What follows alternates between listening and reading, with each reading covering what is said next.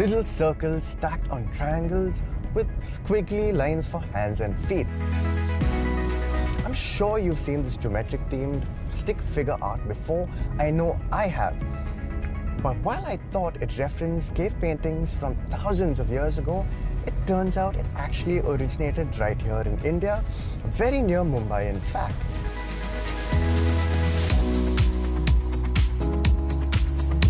Art from the Warli community right here in Maharashtra and it turns out it's the oldest folk art in India.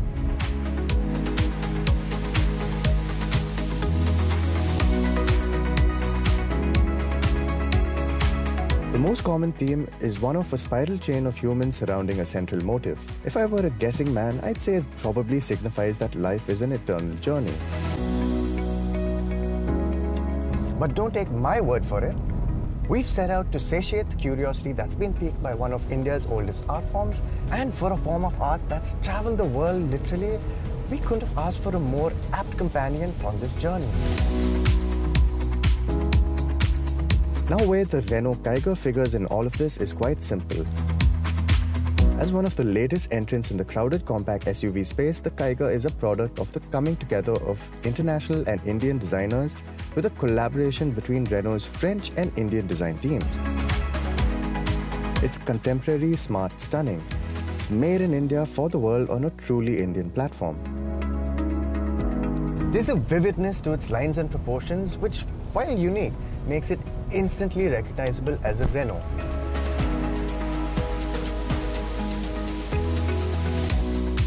There's no mistaking its geometric design diamond cut alloy wheels for anything else on the road either.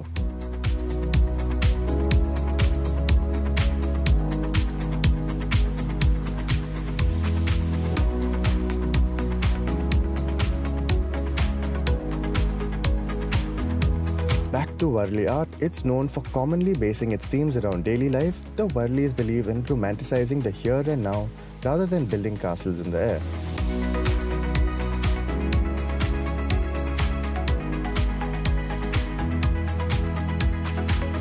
And if I were to try and draw parallels to the Kiger, it's in how thoughtfully the cabin's been designed, putting functionality first in its high set seating position, multiple storage spaces, and just all around great space optimization, which makes it one of the most smartly designed cabins out there today.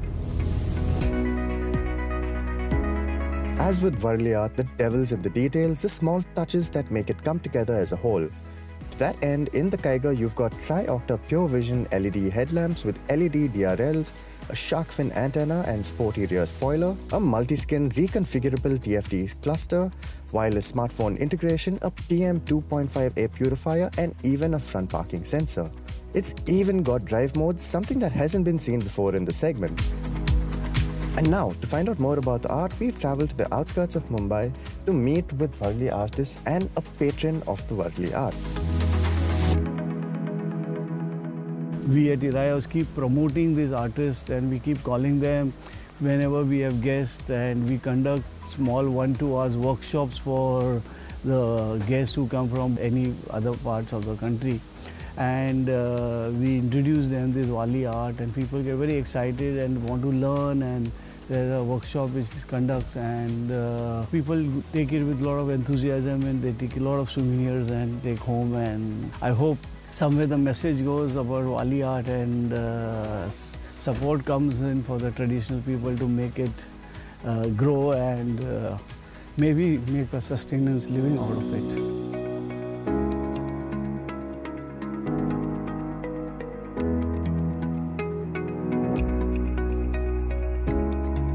Taking it out on an adventure gives us a chance to once again appreciate what the Kiger is, and that is a damn good car that can take you just a little further than any other similarly priced hatchback.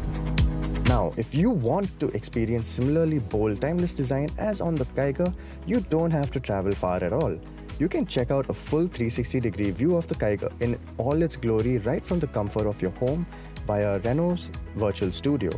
All that's left is to bring your Kiger home and have an example of stunning design parked right in your driveway.